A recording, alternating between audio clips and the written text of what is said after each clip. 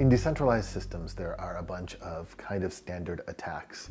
Um, the way that they're thought of in, in blockchain is like a double spend attack, which means you're going to try to spend the same coin twice.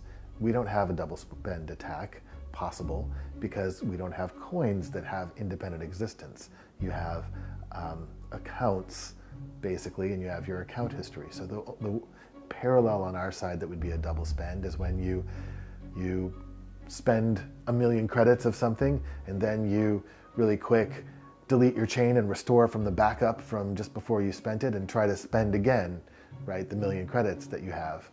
Um, the system that we have of doing gossip actually propagates that transaction around the network and your counterparty to your first transaction propagates it around the network. And if you design a good mutual credit currency, if you're running a good mutual credit currency on Holochain, you can add some, basically some notary entries that make sure that each transaction is saturated in a neighborhood.